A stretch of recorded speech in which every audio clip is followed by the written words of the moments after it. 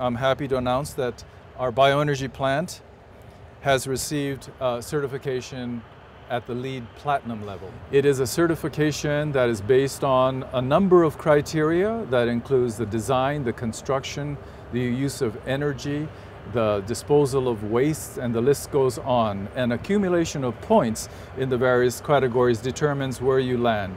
And this is the top level uh, that LEED uh, awards. So in the design, we took advantage of the, top, the, the, the topographic uh, qualities of this site, where we buried what is effectively a three-story building in the, in, the, uh, in the bank. I think we've made it very simple in its statement of aesthetics and, and, and function. I think it speaks very well to the, this is the function that has the people in it.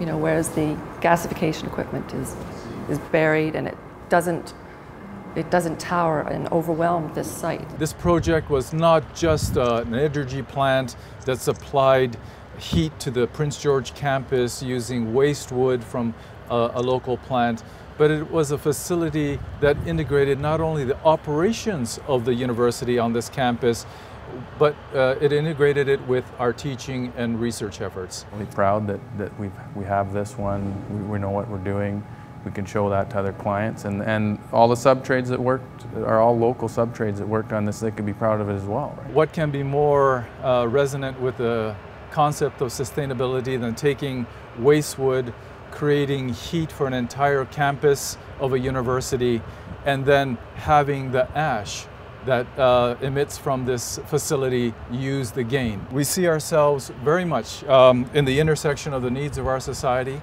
and the talents and resources we have, and we continue to do that, addressing the important issues of our northern communities.